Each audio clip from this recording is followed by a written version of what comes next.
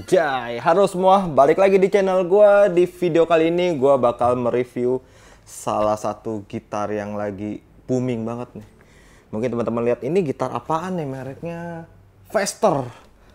Tapi asal lo tahu aja ya, ini adalah Segovia. Jadi ini eh, seri atasnya Segovia ya Rol ya. Yoi. Jadi dia ini adalah seri premiumnya dari Segovia. Kakaknya Segovia lah ini ya. Soundnya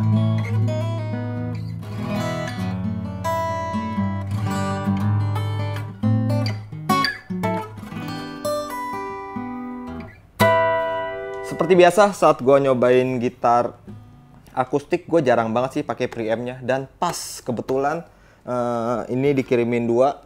Ada ini serinya model D10 natural dan ini ada juga yang ini apa ya?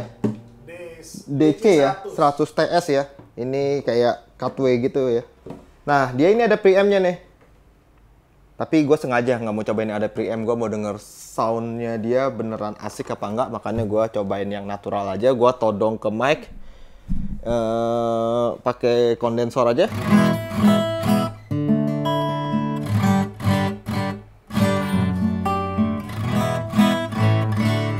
Oke, dia top solid ya. Dia udah top solid, terus eh, materialnya apa aja nih, Ro? Ini mu- mumpung ada orangnya nih. Ini materialnya apa, Ro? Depannya spruce solid. Spurs solid ya ini ya? Yoi. Udah solid. Solid. Terus di back dan side-nya nama saya mahogani. mahogani, Bro. Dan di neck-nya Nyatoh. nyatoh ya. Dia pakai rosewood ya. Rosewood. Alright. Jadi yang menariknya dari gitar-gitar Segovia atau ini seri tingginya Fester, gue suka banget sih sama necknya. Necknya dia kayak satin gitu ya. Dia kayak satin, jadi enak dimainin halus men, nggak keset. Karena kadang ada ya gitar-gitar akustik yang glossy, agak keset nih. Dan yang paling spesialnya lagi nih, entah kenapa ya, kayak Segovia sama Fester ini necknya cenderung lebih ramping ya gue emang jarang main gitar akustik tapi kalau gue pegang gitar-gitar Fester Segovia gini enak nyaman dimainin Eh, feelnya kayak gitar elektrik loh bro. Feelnya kayak gitar elektrik. Nggak pegel. Kebanyakan orang main gitar akustik kan "Hmm, pegel banget nih tangannya. Tapi kalau pegang gitar ini nih berasa main gitar elektrik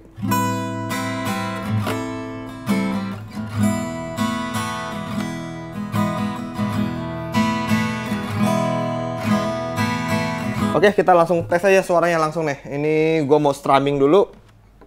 Ini dari pickup, oh nggak ada pickupnya ini. ini akustik ya. Biasa kalau kalau review kan ini pickup neck, ini bridge. Ini enggak ya. Gue mau strumming dulu ya coba ya.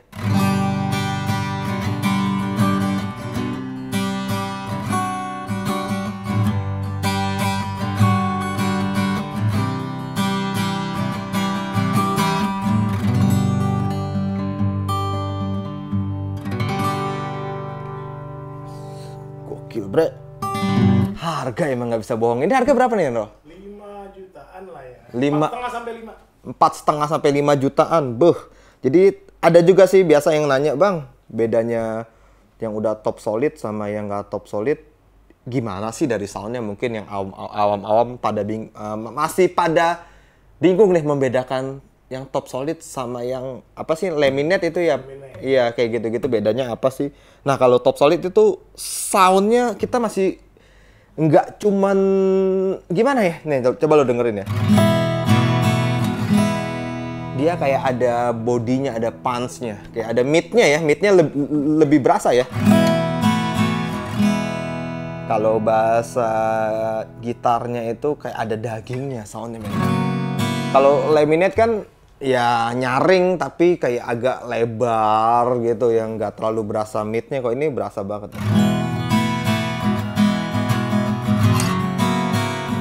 Berasa ya?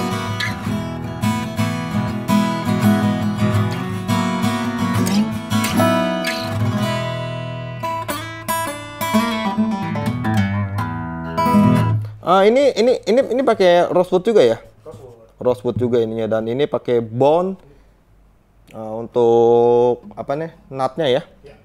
nutnya udah pakai bone jadi ini emang ini seri premium sih berasa banget pas dimainin juga playability-nya jauh lebih lebih nyaman sih emang.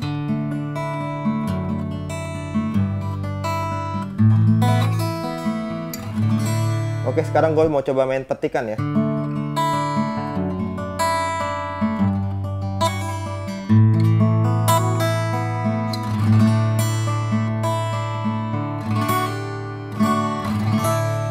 Jadi saat kita main eh,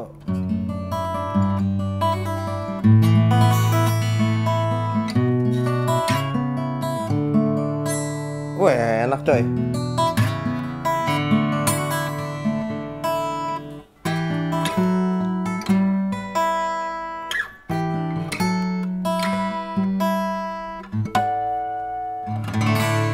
Gua yang jarang main akustik aja berasa jago loh main gini nih. Adek Sulistio nih bisa kebalap sama gua lama-lama nih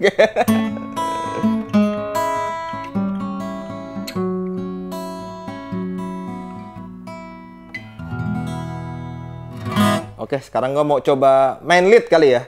Apakah enak nih main melodi dengan gitar akustik biasanya agak pegel pasti lama-lama pakai gitar akustik main melodi. Tapi ini kita cobain nih.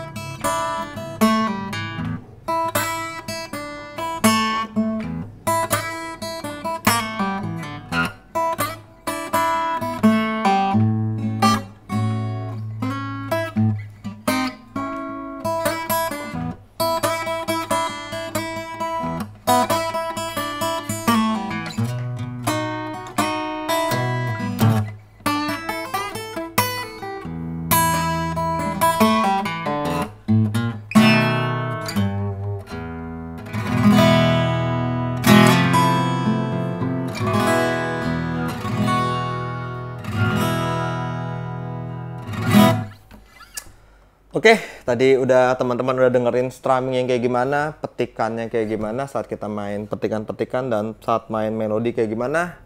Nah, biarin aja teman-teman yang menilai sendiri. Gimana sih eh, si Fester ini soundnya worth it apa enggak? Eh, di harga empat setengah sampai 5 jutaan. Jadi ini harga resminya kita juga belum tahu nih.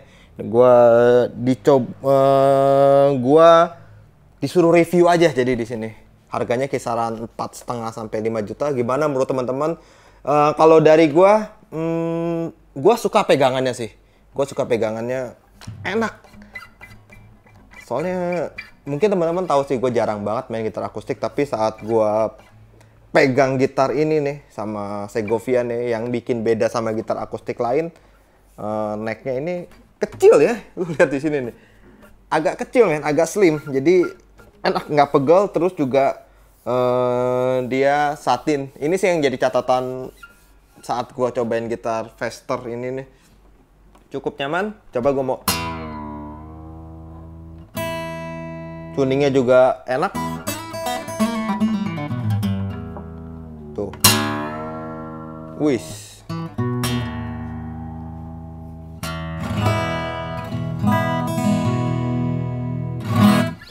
Harganya empat setengah sampai 5 juta. Menurut kalian worth it gak untuk dibeli si Fester ini?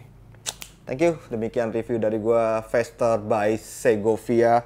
Ini warna natural dan ini juga ada yang eh, ini glossy ya. Ini gl- gloss juga ya dodonya ya. Ini sunburst ya.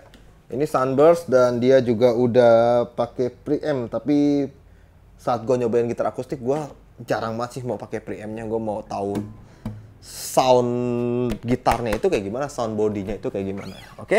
Thank you teman-teman dan kita mau review apa lagi? Komen aja di bawah ini dan pertanyaan seputar gitar silakan tanyakan saja di kolom komentar. Siapa tahu gue bisa jawab pertanyaan-pertanyaan dari kalian. Thank you.